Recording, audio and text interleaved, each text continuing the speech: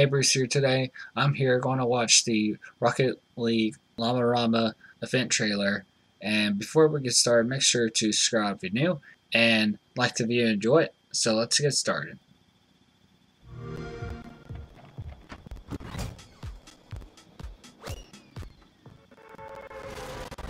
Okay.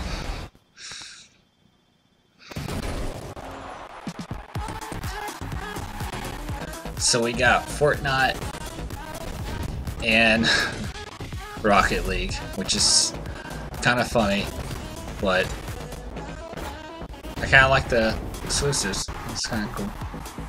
I mean, okay. So that was the trailer. So Fortnite's going to be in Rocket League, and it's going to be an event starting on September 26th, and supposed to end somewhere mid October, I believe. October 15th, that I've heard.